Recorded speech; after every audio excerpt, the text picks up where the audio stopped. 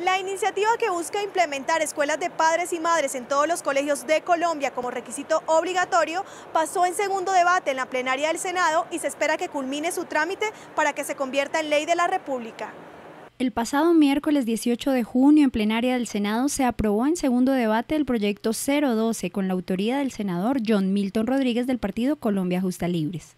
Muy complacidos con el proyecto de ley 012 del 2018 que ya surtió su segundo debate en la plenaria del Senado, con una aceptación unánime por parte de todas las bancadas de todos los partidos, que nos permite establecer de manera obligatoria las escuelas de padres y de madres en Colombia, lo cual favorece obviamente la integración de Estado, familia y obviamente el ente educativo en procura del desarrollo integral de nuestra niñez y nuestra adolescencia.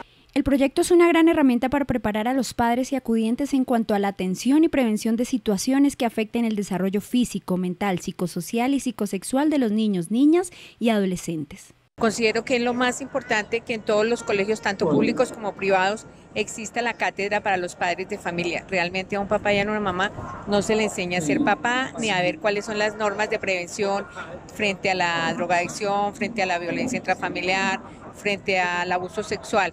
Considero que realmente los padres y madres deben recibir unos mínimos de preventivos frente a eso y ante todo pues para que aprendan a escuchar a sus hijos. La educación no la da un colegio, la educación la da el hogar, la familia. Eso es lo importante. El padre y la madre que están formados forman muy bien a sus hijos.